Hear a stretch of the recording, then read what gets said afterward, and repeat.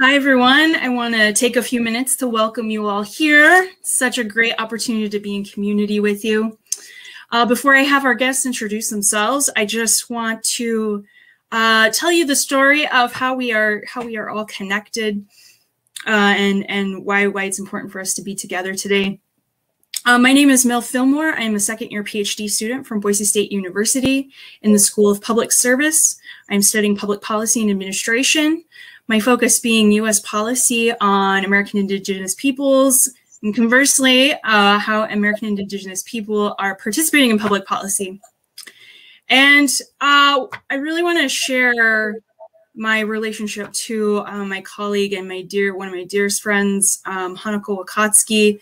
Um, her friendship is one of the most important of my life. And what's interesting is my relationship with her is directly tied to uh, our ancestral um, history with regard to U.S. policy, removing our our communities and and um, impacting our, you know, the way our citizenship is is configured in in the United States. And um, one one specific point is is um, that one of the authors of the War Relocation Authority, um, the author of those policies, uh, Dillon S. Myer, became in charge of the BIA and was in charge of the termination and relocation.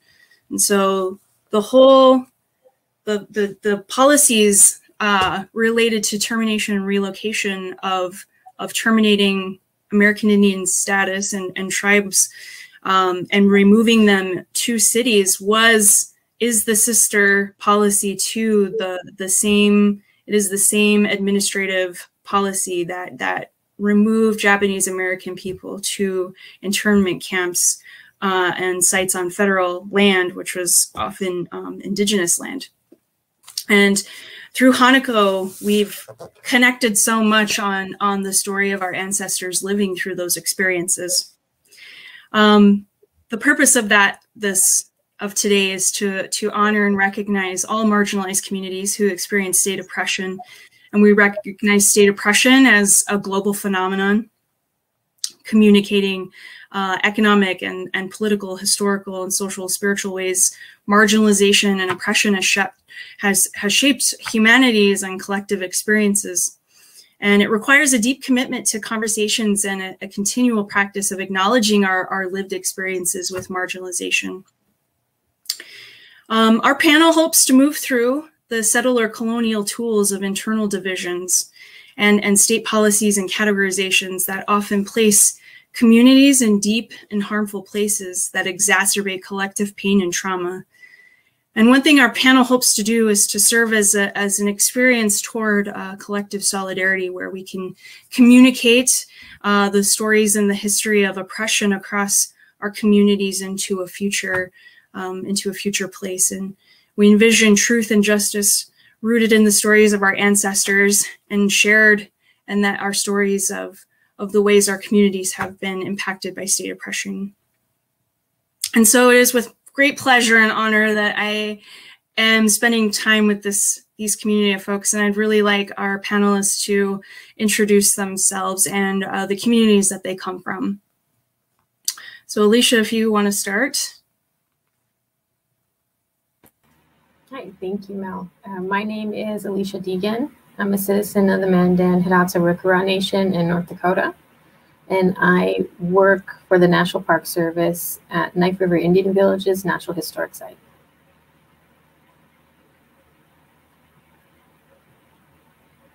Albert, do you want to take a?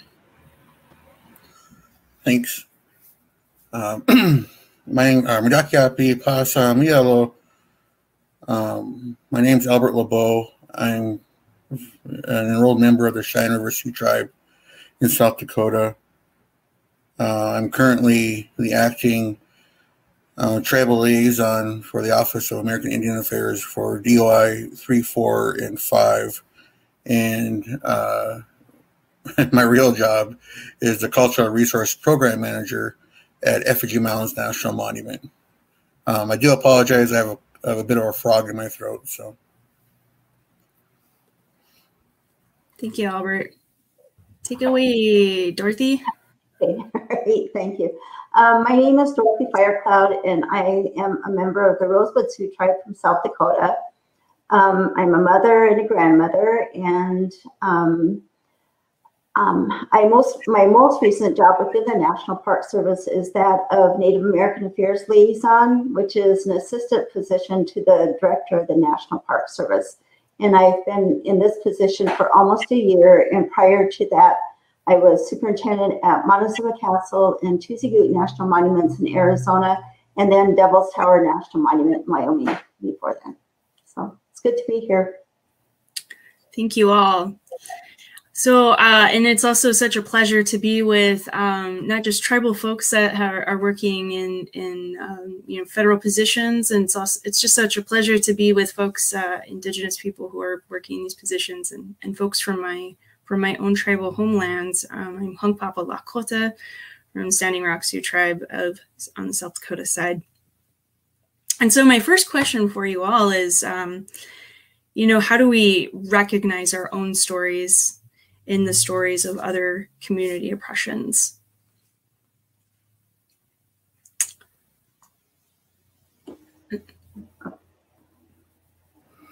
Okay, so um, I think you know, as you're growing up, you know, you kind of hear stories about what's going on, but you don't really recognize how it might you might be impacting one another. And I think it really came to bear most recently for me um, when all of the stories started coming out with the Asian Americans being attacked and a lot of it having to do with COVID and stuff. And I think I started like really thinking about it more from that point of view.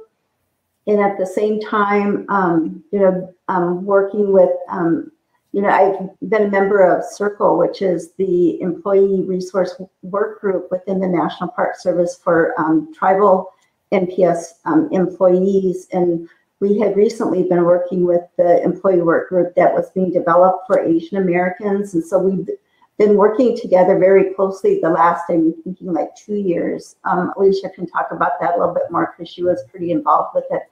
But um, one of the days I was reading up and kind of getting a little bit more um, depth into the boarding school initiative and all that's going on with that. And then just going back and looking at some of the boarding schools and there was a story that had that had popped up about one of the um, former boarding schools that had um, buildings that had been used had also been used to house um, or to you know for the Japanese Americans when they were interned, and just thinking about the trauma that was left within that building originally from having those young kids be there, you know, in the boarding school era, and then you know, so there's all of that trauma that's left in that building. And then, you know, they're all removed. And then this whole other group of minority people are brought in, you know, being traumatized, you know, by being taken away from their homes and their businesses and everything over something that they had no control over.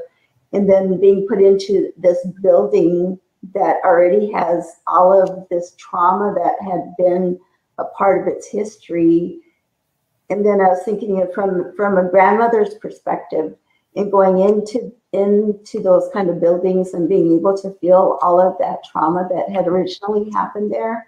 And then and then that being like kind of like compounded upon the trauma that they're already going through originally you know by being removed from their homes and stuff. It was just I mean, it's just really difficult when you start thinking about all the things that minority people have have had to go through. So. I also think part of it is that you know we were the original, um, you know, the, the Native Americans or, or, American Indians. You know, we were the first ones to be marginalized. Mm-hmm. Um, you start from looking at Meadowcroft you know, in the Maritimes in Canada, and you can go all the way to what happened um, to the California tribes, and then even further than that to um, the Native Hawaiian and Pacific Islands as well. Um, you know,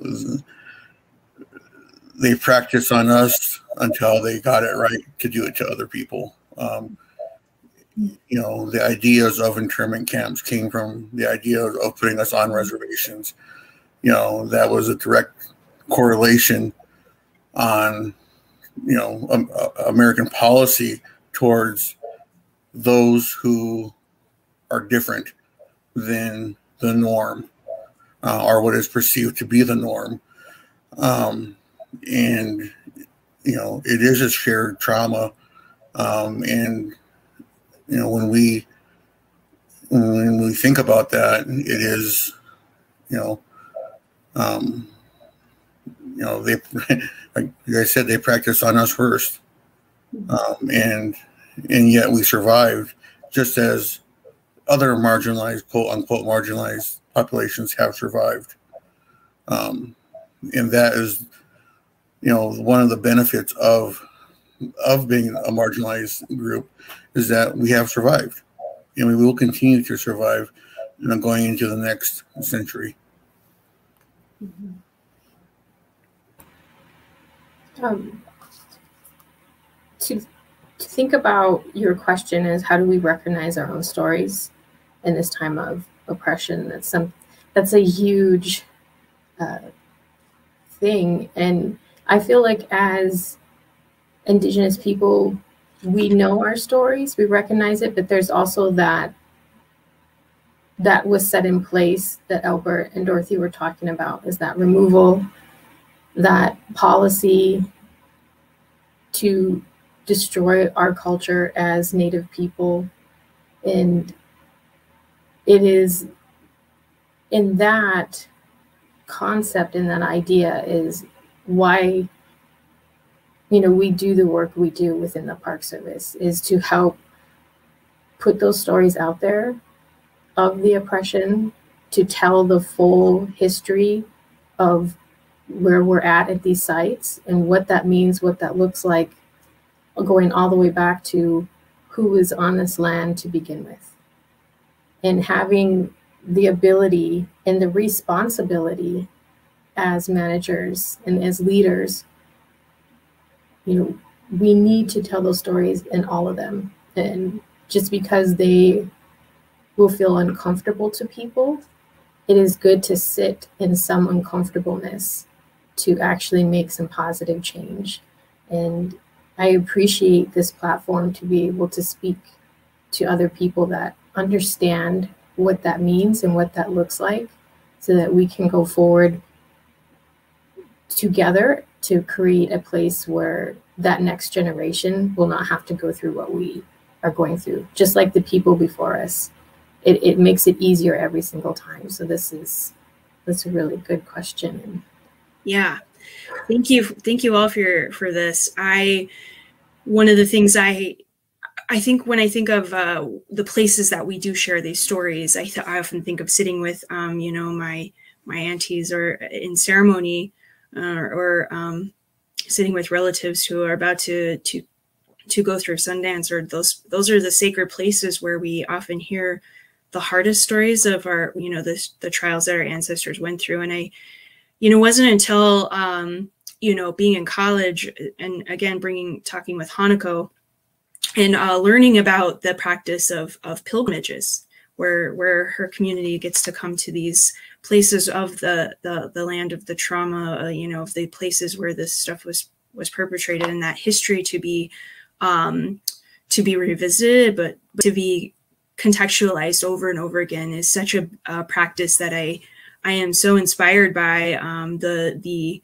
the historic preservation work, but also um, you know letting the letting the people who have experienced that firsthand and and the families right um, because we carry those stories with us and um, and our children you know carry those stories with us um, throughout. And I really appreciated Dorothy's you know comment you know reflecting on uh, being a grandmother um, and and tying um, your story through um, that this isn't just one one generation. It, it impacts multiple generations. And that's something i um, i also appreciate about the japanese american um, preservation experience. It's about their younger generations being told that that history and, um, and that history being shared with them as well.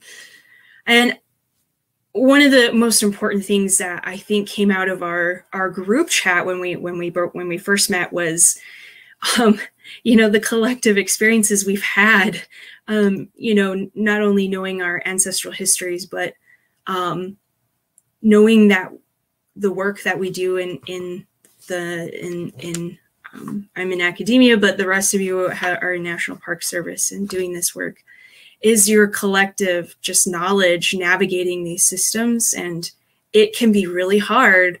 And so the next question that i have is um, you know alisha brought this up was you know a, a, huge motivating factor in why we still continue to do this work even in the face of oppression. And uh, ask you to um, you know um, what do you um, how do you feel about that and how do you navigate that um, that work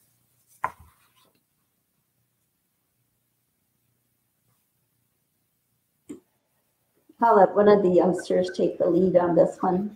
can, you, can you repeat the question? Why do we still do this in the face of so much oppression? Because Dorothy said I had to. Because Auntie said so. Auntie Dorothy here. Yeah. Well, it, yeah, I think it, it really is because of the fact that, I mean, you know, you know we're, we're getting ready to do um, November, which is Native American Month coming up. And so we were talking about different themes and what we should do and stuff. And Albert, you know, kind of came up with a really good idea because you know, when we're in these positions, we're really walking in two worlds, and it and it, and it does get difficult because I remember one time being in a meeting in Santa Fe, and this is when I worked with U.S. Forest Service as a regional liaison down there, and they had like breakout rooms for everybody to go to, and so you know, I um, wanted to go into one of these rooms, but the breakout rooms were like for the tribal folks. And so, you know, I still, um, I'm a federal employee, but I'm Native. I'm a member, you know, the Rosebud Sioux tribe. And so, you know, I went into one of the meetings and and was told, you know, you really can't be here because you're a Fed. And, you know, so you get that kind of a pushback.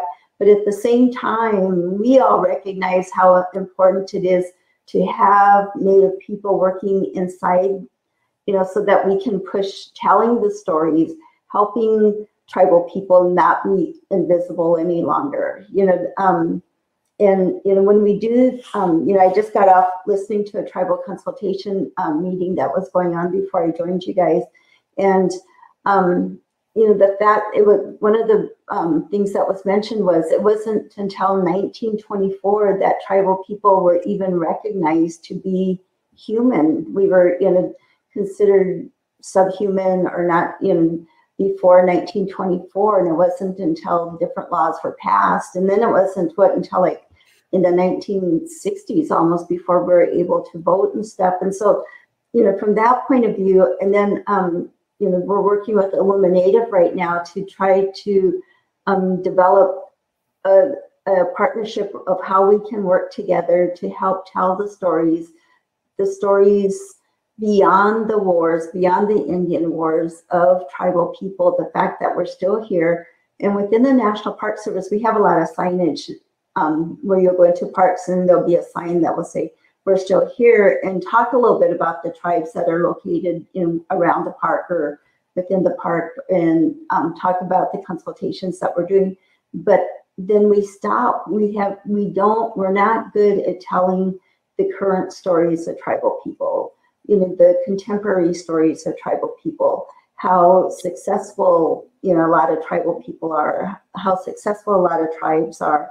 Um, the fact that, you know, and, um, we only have one park unit that even comes close to being able to tell that story, which is Alcatraz. And Alcatraz, you know, there's nothing within its legislative history that says anything about tribal people, but yet Alcatraz has a rich history of tribe of tribes and different events. You know, most the the one that's known the most is the occupation that happened, and and but even there we talk about the occupation and what happened during that time, but we don't talk about what resulted of that occupation. The fact that President Nixon was in office, the fact that you know he had a football coach in college that was native that influenced how he looked at Indian people. So when he was in office, he was able to change a lot of things. You know, a lot of people don't like Nixon because of what happened and stuff, but when you look at,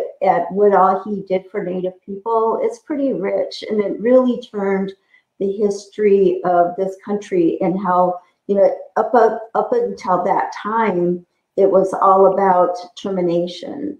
You know, so there's a lot of people going into the cities, you know, taking um, adults Native American adults from reservations and putting them to all these different cities throughout the country and hoping that they would just become mainstream and then eventually the reservations would go away.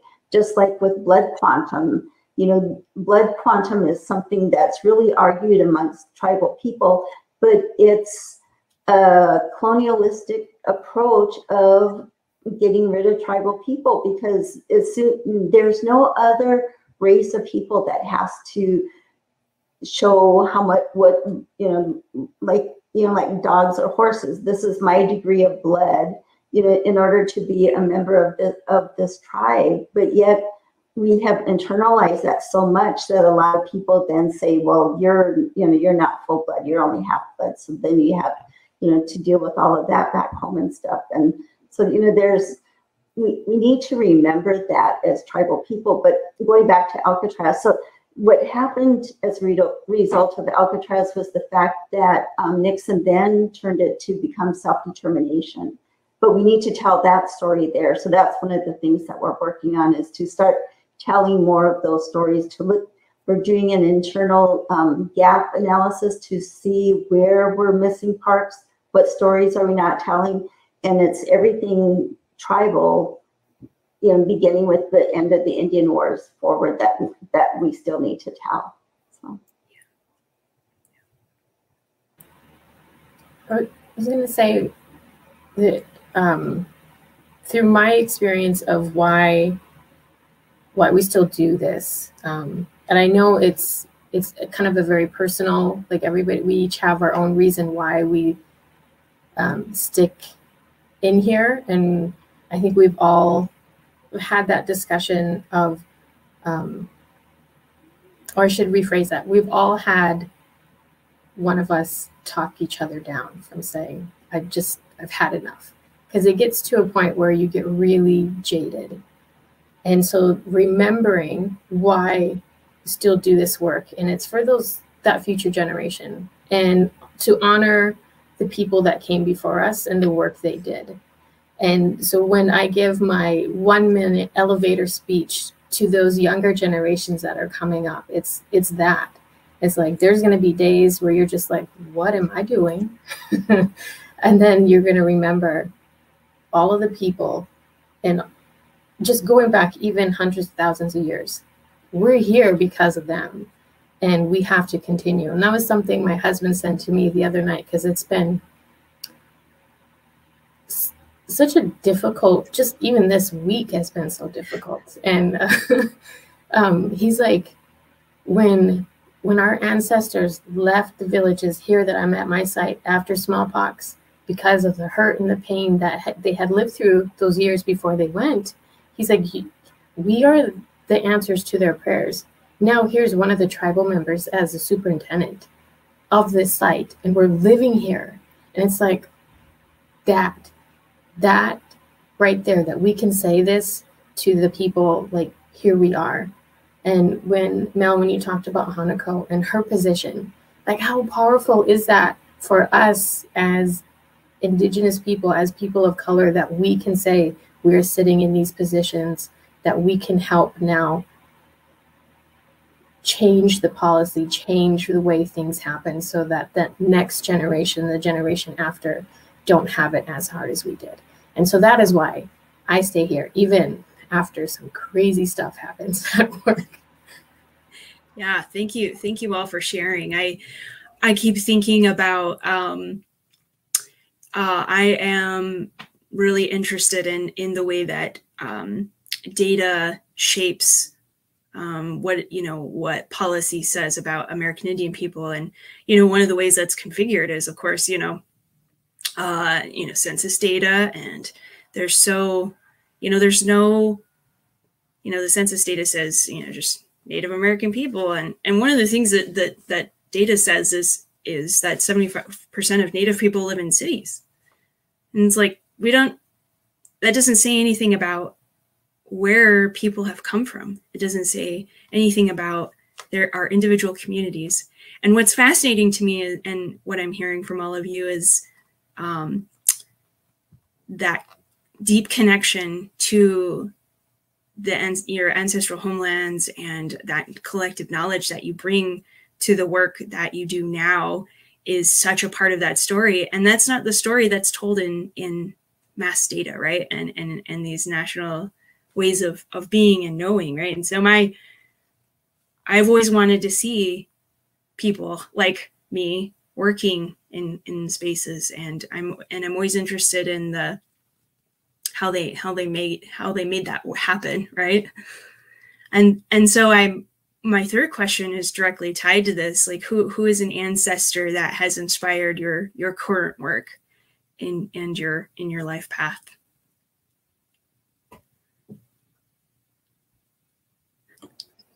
um, i would have to say it's probably my grandmother you know my grandmother raised us um, down by the river no you know no running water no electricity none of none of the amenities that we have today and um, I mean, she did an awesome job. You know, she's she still impacts the way that I do things today, mostly by scaring me.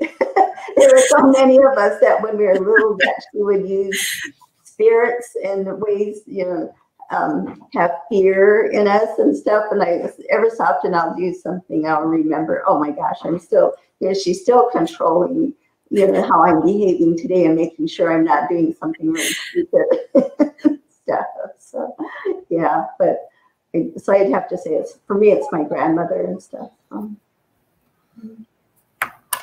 I think for me, it's I walk in the shadows of my ancestry, um, and you know, I come from a long lineage of of great people and the fact that they were able to survive and in some cases not survive. Um, I've have relatives that are buried at Wounded Knee. I have relatives who are part of the Dakota 38. Um, you know, and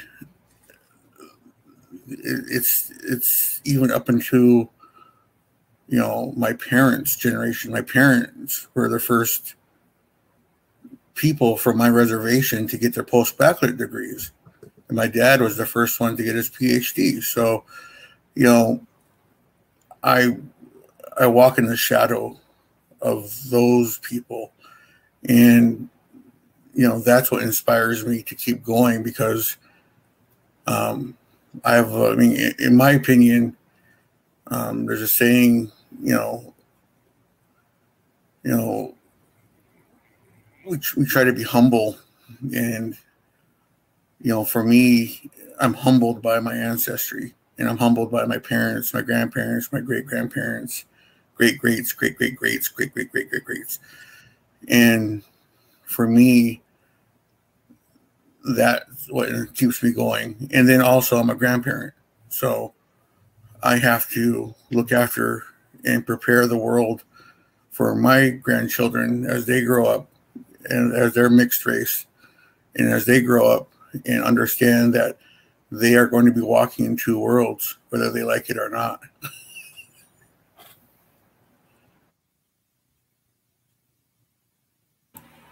um, i guess i would have to say along with um, both of dorothy and albert say it's um, there's so many people that are still alive but and then people that are not along and along with my uh, grandpas that really um, have influenced me. And um, there i had i had a dream like 10 years ago. And this dream is when i was at mount rushmore and the superintendent at the time is um, an individual from my tribe and in the dream he had this huge fire in the middle of his office that just certain people were helping to keep going. and I had come to him, and he was talking about going up to North Dakota to help with an archaeological dig that was along the Knife and then the Heart River. And I said, "That's that's our people." He's like, and I asked him, "Can I go?" And he didn't answer at first. And then I asked again, and he said, "Yes, you can go, but you have to do these things."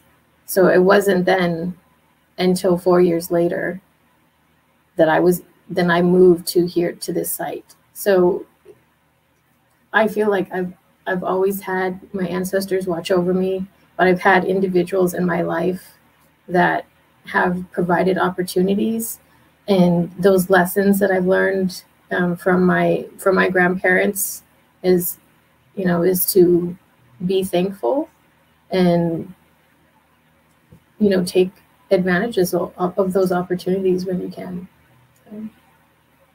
yeah thank you um i would say that my my father's so my my father was removed from from his mother um and my father is a um is half native, half white, and um, was removed from the, the the reservation from away from my grandmother when he was three, at a time when she she had no rights to you know they didn't recognize you know the rights of of indigenous mothers, um, especially if you were unmarried, and so no no way for her to um, have a relationship with my father, and he didn't end up going back until much later in life um, and what's interesting is my grandmother ended up working for ICWA, um, bringing children back home to uh, our reservation.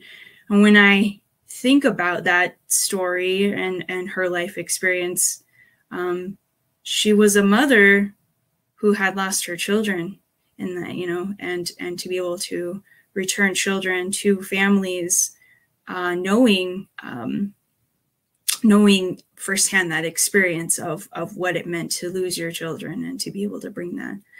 Um, oh ICWA yes thanks uh, thank you Albert. Um, ICWA is the is the Indian Child Welfare Act which previous to 1970 um, it was legal for American Indian children to be adopted off the reservation or away from families. So um, if the state deemed families um, incapable of caring for their children, which at the time was um, there. There are a lot of um, issues with that, with the removal of of children, American Indian children, from their families, and which is also a, a state adoption, um, a state process, right, of of recognizing humanity of of um, Indigenous children.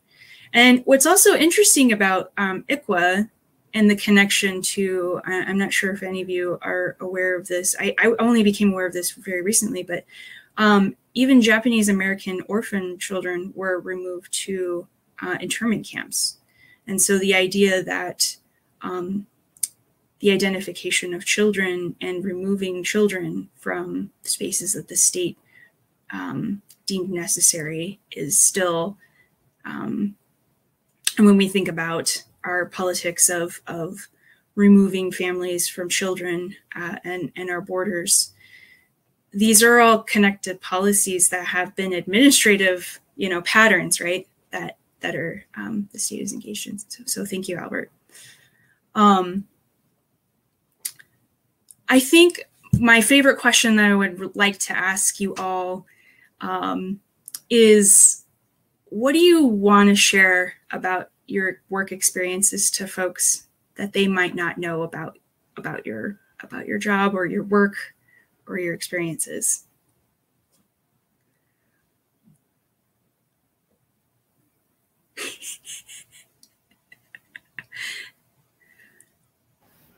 I don't know if we have enough. I don't know if there's enough enough time. Oh, we got 30 minutes left. I'll I'll I'll, I'll defer to uh, a person who is older than I.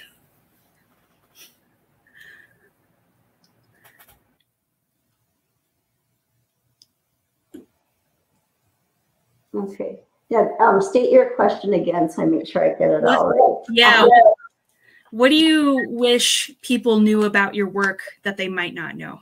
Oh, God. I mean, how interesting it is. I think, and not only how interesting, but how valuable it can be at different times to helping tribal people move forward with, with what needs to be done, uh, you know, as a whole.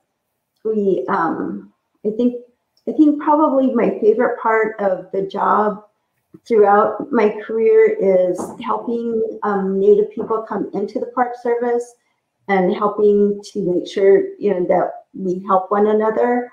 Um, but also within the National Park Service, there's a lot of youth programs. And through the youth programs, I think that we're able to make quite a bit of difference within a lot of Native people's lives, especially Native youth. Because, I mean, with the rate of suicide and the hopelessness that people can feel at times and stuff, I think that those programs can really make a difference in how um, how you know how they approach life at times. And we're I think being able to make progress within the National Park Service by helping a lot of the tribal youth also reconnect to places. Um, you know, I said earlier that I had served as superintendent at Devil's Tower National Monument, which is a significant sacred area. You know, the whole entire Black Hills is a sig- significant um, site or area landscape for tribal people. But um, we we worked with the Forest Service and we would bring in um, youth crews every summer and stuff. And and part of it we would make sure that they would get um, that they weren't working you know, like eight hours a day and stuff. But we also made sure that they were able to enjoy the the um, park and get some educational value. You know, so we would take them around and do different things with them and stuff. And I, and I really hope that a lot of those um, um, opportunities for the youth have made a difference in their lives and stuff. And I think that's one of the things that um, that people don't really think about as much. And there's a new um, program that's coming up, the Indian Youth Service Corps, that just passed last year, and that's specific to Native um, Native American youth, Native Hawaiians, and South Pacific Islanders um, to help get um, youth crews come, coming back into the parks that will be specific to for direct hire authority for the Native Americans, Native Hawaiian, and Southern Pacific Islander youth to work in the parks. And I'm um, really looking forward to that. We're getting ready to publish the um, implementation guidance here soon. And then um, really looking forward to how we can get that funding out to the different communities. And there's a lot of different uh, the conservation corps, you know, that are working with the parks. The ancestral lands crew is one that's I think making a huge difference in a lot of um, young people's lives and stuff. So I think from that perspective, that we're really making a positive difference too. But it's something that people don't really see that you know that we're working on and stuff. But it's it's kind of it's there.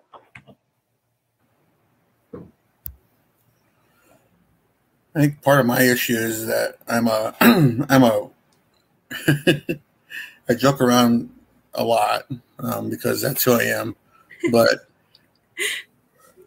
you know usually when I when I do introductions at meetings or or if I'm giving a class, I introduce myself as a as a walking oxymoron or just a moron. And the reason I say that is because um, I'm a Native American archaeologist. Um, archaeology in, in in Indian country, you know, isn't looked looked upon very well um, when I first started. It's getting way better um, now, but when I first started, way back when, um, it, you know, I've been called a trained pot hunter on count on my council floor by my relatives who wanted me to go to college to get my degree in archaeology. so, um, and the thing that helps me, or the thing that is, is kind of surprising for people to find out, is in both the positions that I current that I have now, um, I actually get to be an advocate for tribes.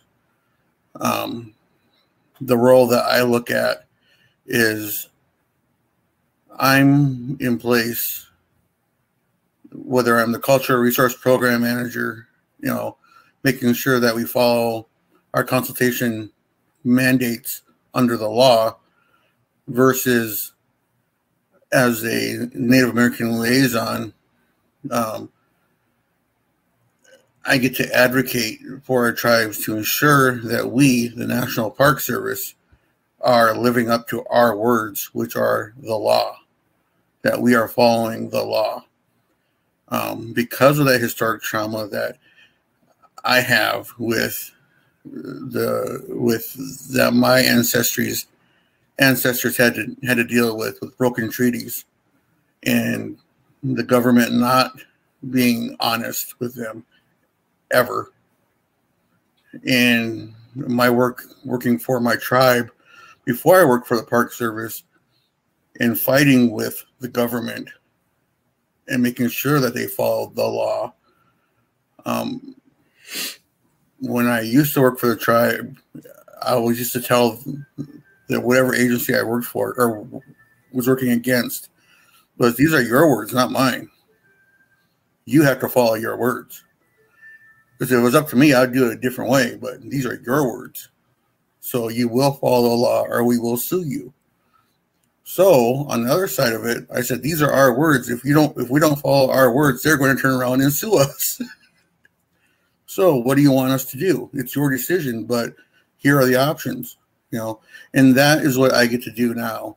And um, that is probably one of the more surprising things, even to myself anymore, is that I get to do that. So.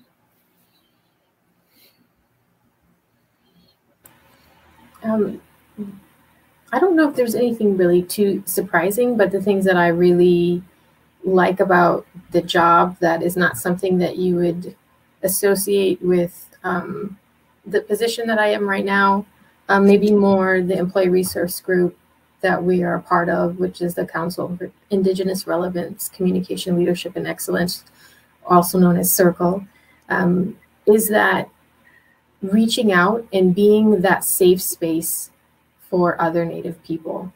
Because it can get really isolating in the parks that you're at. You may be the only person of color, in the maybe even in the town that you live at. Like there's probably just not a lot of people. So being able to have that community within the workplace is so comforting to say oh this just happened to me. I know it's not nothing's going to go anywhere but i know that this person can can relate to what i'm saying and and then it's just like then being able to help those younger people. I just had a, a, really good discussion with a young lady that works at Grand Tetons, and she is a young Native lady and really wants to work for the Park Service. And I just was really honest with her. Like, there's going to be days that is so tough, but you got to remember why you're here and why you want to do it. And it's it's, it's those moments that we can provide that community, and that's the thing that I really like the most about our job. And then through this, where where we were able to do this program today, is finding that commonality with with with, with what Hanako was going through, and be able to relate and say, yes, this is extremely unfair. How can we help each other? Those are those moments that are like, this is why it is so important and why we're here. And just kind of those things that you normally don't think of other than payroll and nothing's burning down and like all that yeah, thank you so much. I um when I I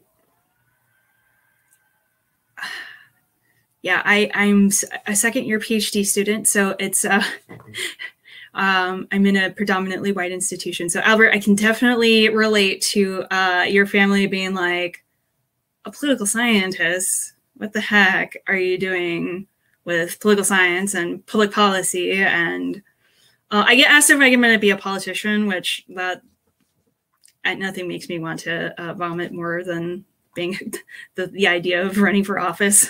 You can be chairwoman.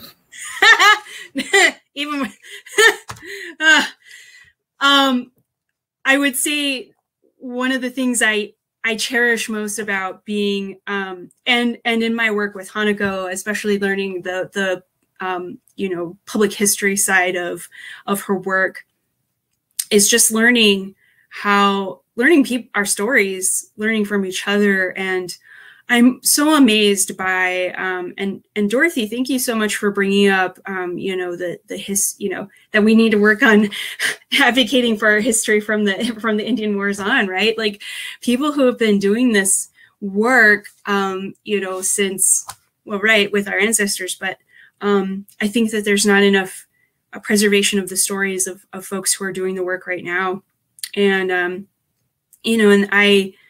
Uh, and Sarah Deer, who is a, a Muskogee Creek lawyer, works on. Um, I work on mostly domestic violence policy, and um, I'm working on study with missing and murdered Indigenous people in in Idaho currently. Um, I'm so amazed by the the stories of you know our service providers, our you know our tribal domestic violence service providers, and the folks that hear the stories of our people of, of violence, you know, on a on a regular basis and who preserve those stories, who honor those stories, who tell those stories, who are um, no no in carry you know they're the the story carriers of our people how little recognition sometimes they get. And and so i'm here uh, just really want to thank you all for for being in, in community today and to uh, to share a little bit of that story and for allowing me to facilitate this conversation. I uh, from the moment we spent time together uh, with Hanako, our first meeting together, I was just so honored that she would put us in a room together and to be able to hear each other's stories is just um, is truly inspirational. And I hope that we we can keep in touch. And um, and that is all that we have for today.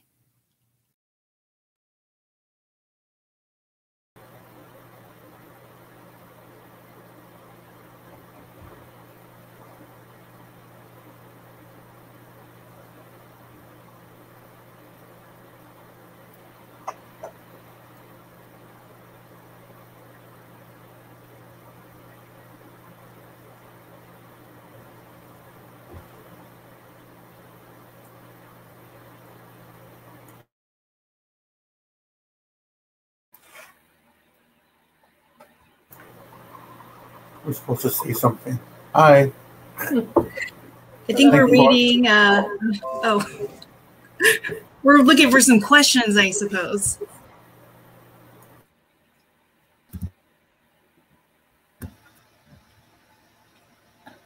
I, let's see. I know we just had the one from um, BB Brigman that talked about um, how can white allies effect change at the National Park Service to help management better recognize and respectfully share these non-white history and honor sites of oppression, which I think is really a great question. Um, you know, and Albert had a response. I'll let Albert talk first.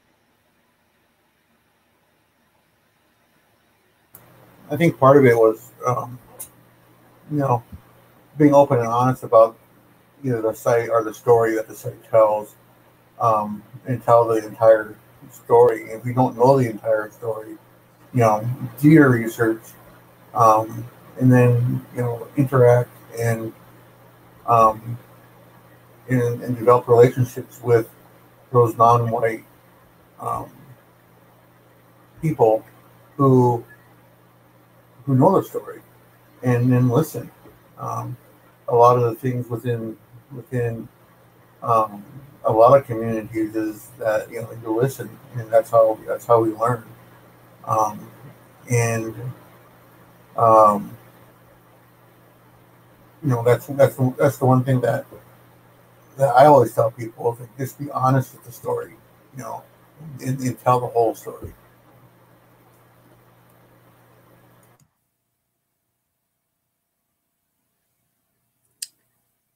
Dorothy, did you want to respond? Okay, there. I was looking for my my mute button.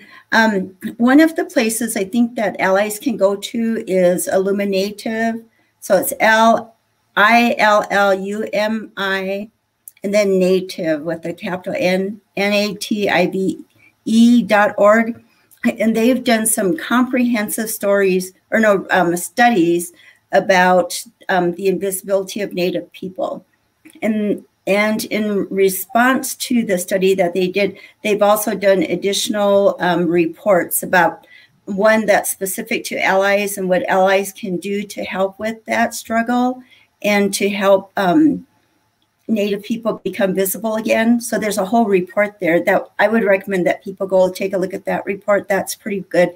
And they also have a follow up report as well on how Native people can do things to assist with telling the stories and getting those stories out there so that Native people are not invisible.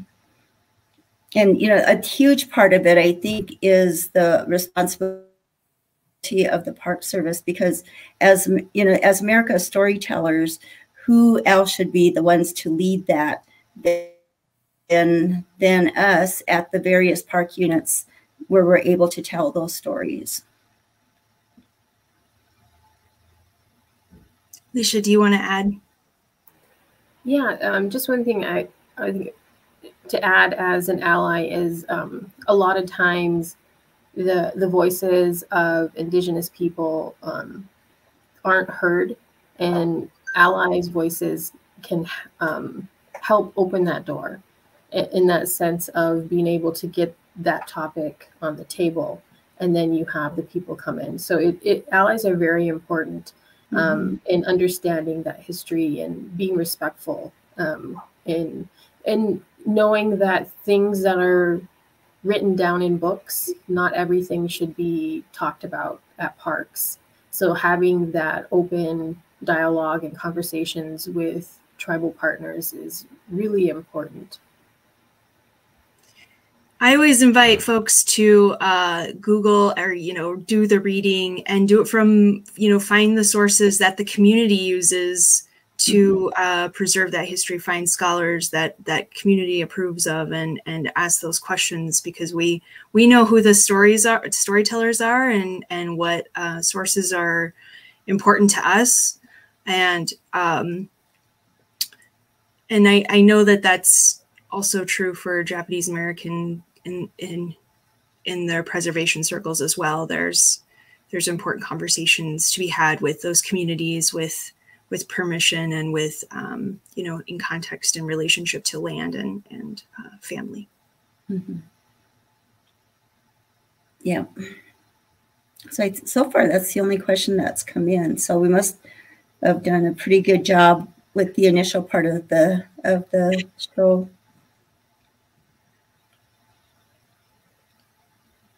yeah so i know um this week they're having, um, I think, about four or five different sessions on um, interpretive, um, um, like what can we do to change things within our interpretive programs. So if people have gotten in that invite or um, you know, please be able to, you know, to try to get to at least one of the sessions so you can help with, you know, with telling these stories and bring it up that you know there's still a lot more that really needs to be told when it comes to working with native peoples and the people that have been there. Um, we're getting ready um, when you know november is native american month and so we're getting ready to do different webinars and things during the month.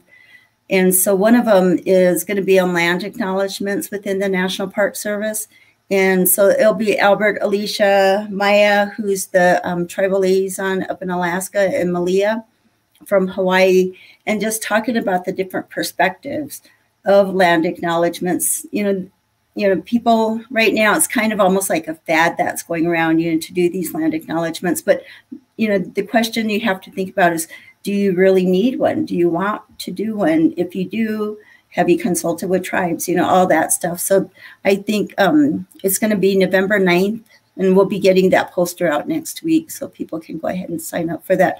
But I think that's another critical part of, of how we begin to tell those stories.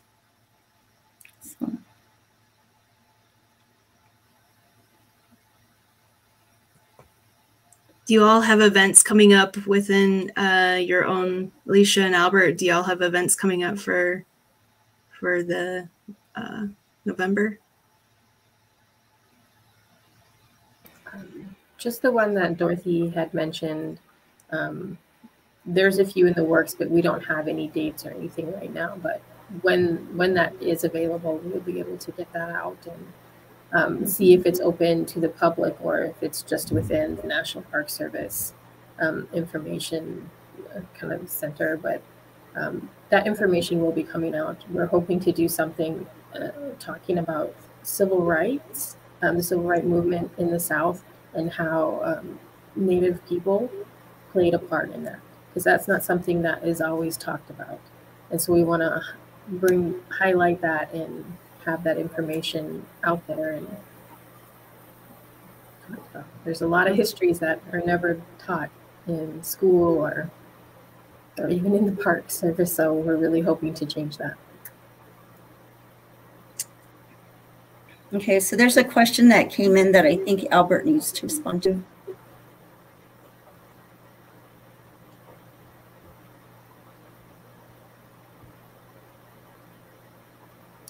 from, from an archaeological perspective? Well, from an archaeological perspective, we're from all from Africa. We're all from the Rift Valley. Mean, that's where the matriarch of Homo sapiens sapiens came from. Um, we're all originated from that specific mitochondrial DNA. We all have that part of us. If you look at the archaeological and the physical anthropology side of it. Um, I don't, I don't doubt the Bering, the the Bering Land Bridge, um, but I also don't ascribe to it as the only theory. Um, you know, when you talk to tribal people within anywhere, really anywhere throughout the world, they research they they refer to themselves as the people. You know, they don't call themselves, you know, anything else but the people. You know, are the people are are they are the people of the, you know, whatever. I'm Lakota, so we're Pteleate, we're the people of the buffalo. You know, and um, and that is where our creation stories start coming from. You know, every culture has a creation story, whether it be Adam and Eve um, in the Judeo-Christian era, or even before that, you know, whatever was before that. Um, like for myself, I know where I where I where my people came from, and they came from Wind Cave, which happens to be a national park. So, um, you know, on the other on the other science aspect of it, you know, we were classified as mongoloid in the in the 1960s version of human classification because we all have the blue dot, and we share that in common with Mongols. And so, were we part of the Mongol hordes that ran through, you know, Europe? I don't know. I think we're still over here in North America. In my language, we have words for three-toed horse. We have words for um, rhinoceros. The, the, uh, the I want to say furry rhinoceros, but you know we have some of these Pleistocene names um, that are still within the language, um, and so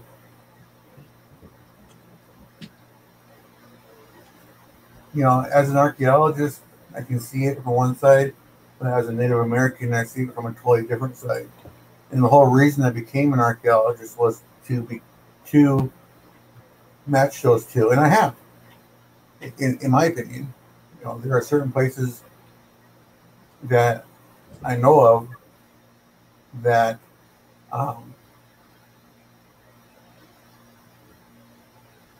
speak truth to our stories from an archaeological mm-hmm. perspective, and they're dating around, you know, eleven to twenty thousand years ago. Mm-hmm. So that's one of the reasons I became an archaeologist. So I hope that answered your question. So yes and yes and no, but yes. But it, you know, and we're talking about telling the stories of Native people in these places. And so when you go back to it, we have our um, origin, you know, the places that we came from. Wind Cave for Lakota, Nakota, Dakota people. I'm here at um, Grand Canyon National Park this week. Two, at least two of the tribes have their um, um, emergence place within the Grand Canyon. Zuni, Pueblo, and Hopi, and um, and I'm sure there's others because the Havasupai people are from within the Grand Canyon as well. So I think you know when you go back to tell these stories because we're at this level of the world at this time, then that's where you really should start. Is where um, the people came into this world and start there and and go forward with those stories. But like I said, we're stuck. You know, we're stuck in the past.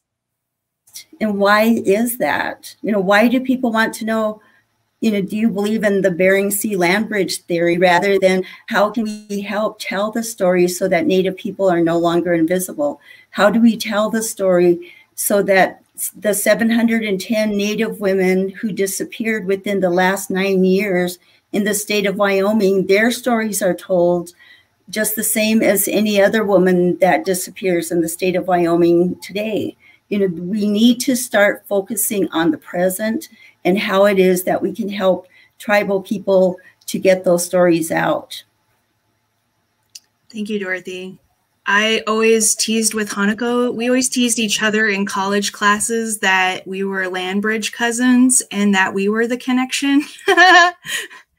and um, I say that jokingly just because, like, you know, Native people, we also have a practice of of adopting, and and we have practices that are that are rooted in relationships, and that family family is, you know, in Lakota we have several words for family, and uh, Albert brought the, you know, we're the people of the buffalo, but we also have our our Tiospaye, and our, we also have our Tiwahe, and um, you know, our our hunkapi, you know, the the people that we make it our relatives, and um, those are stories that hold a really important place in those migration movements and the ways that our people have always moved. And so, um, you know, I've heard of Lakota storytellers making their way all the way to like North Carolina and on all the way to Mexico and um, you know all the way up into Canada and um, so I'd like to think that Hanako and I were cousins through the land bridge story, but mostly just because of our stories.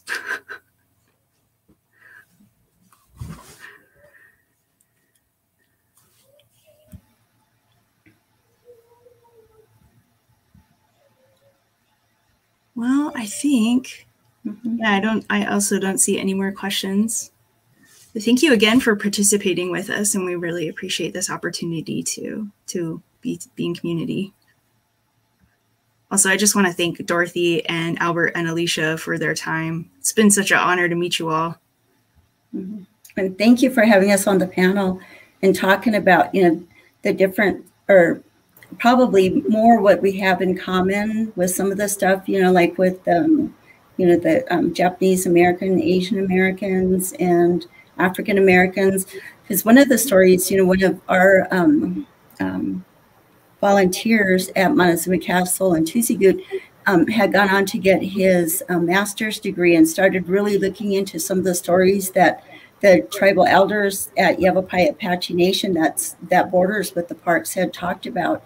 Um, and went back and really found out so much history about Native American slavery within the United States. And during the Indian Wars, you know, they would kill, you know, come in and massacre the tribal um, um, community that was there, the, the tribal unit that was there. And a lot of times, a lot of the younger children wouldn't have been part of that massacre. So um, then they would pick up those kids and they would take them into the local communities and either sell them to local families or just give them to local families. And they would then be raised as, as um, a slave for that family. And so, I mean, so that history also is, part of the history that isn't really told and stuff. And so there's just so many different aspects and components of Native American history that can um, be told, you know, along with all of this other stuff too. So, I mean, there's a lot, I mean, a lot of history out there, but then there's also a contemporary stuff that we really need to start beginning to focus on.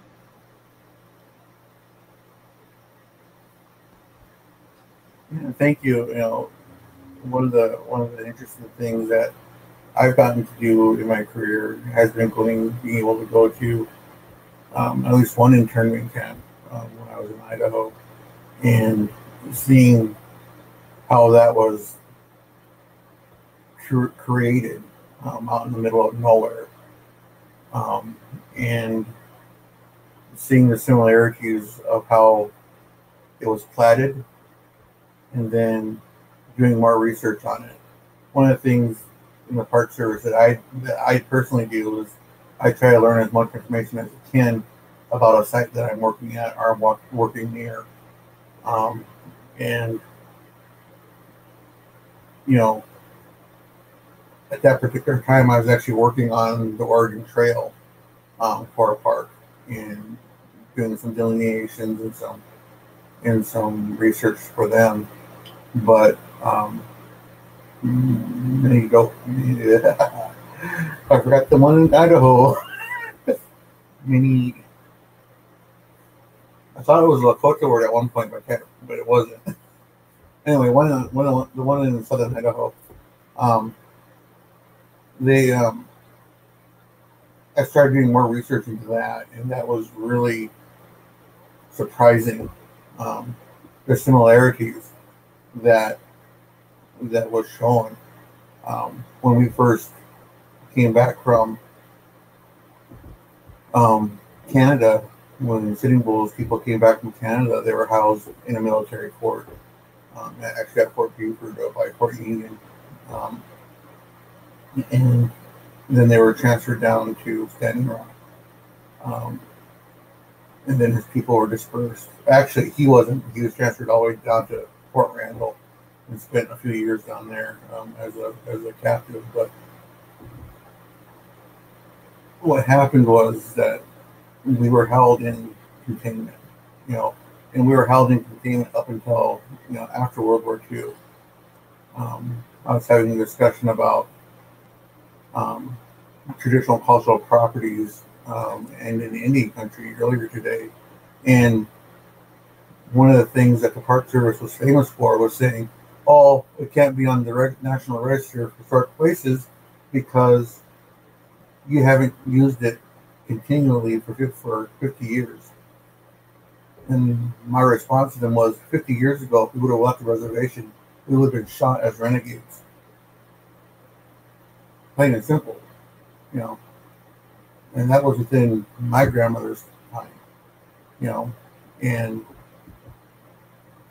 looking at how the setup was and seeing that the barbed wire around the internment camps faced in and the gun turrets faced in um, really hit home with me on that.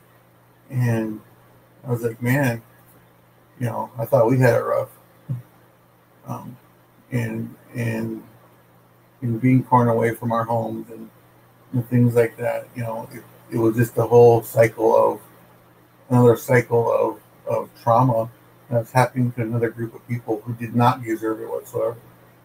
Um, and and it was because they looked different than somebody else. Just like, you know, every other minority person, you know, in, in, in, America at that, you know, at any time really. I mean, look at right now what's happening down on the border that was happening with, uh, with the Haitians. You know, they're not even getting a chance to to claim. Um, um, uh, what's that called? Anyway, they're not getting a chance to come. Yeah, asylum. Thank you. I mean, getting a chance to claim asylum. They're getting shipped right back. You know, is that what America is about? You know, You know, or you look at you know the, the other southern part of the border where you have um, more indigenous people coming up, and they're getting turned around to border. You know, and the people are dying today, and we're still doing that. The United States government is still doing that. You know, and so like Alisha said in, in, in the videos that some days it's hard working for the government and seeing what they're doing and seeing that it, it it's continuing to happen. So, um, you know, that's kind of what I want to end it on. They're just, you know, we've seen it. I've seen it. I felt it. You know, our stories aren't that different.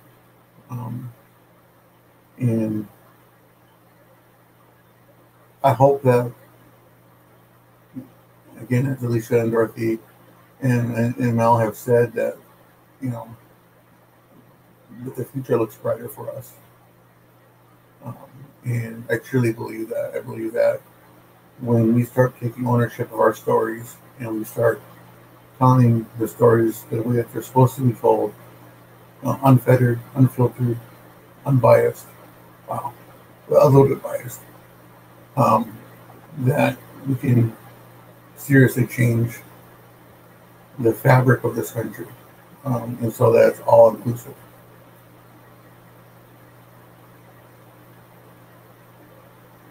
Geez, I talk good.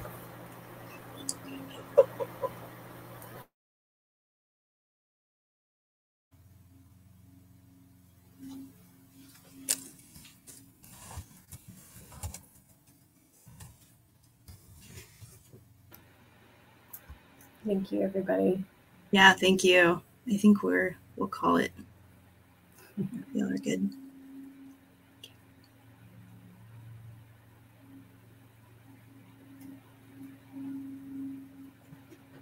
Good night.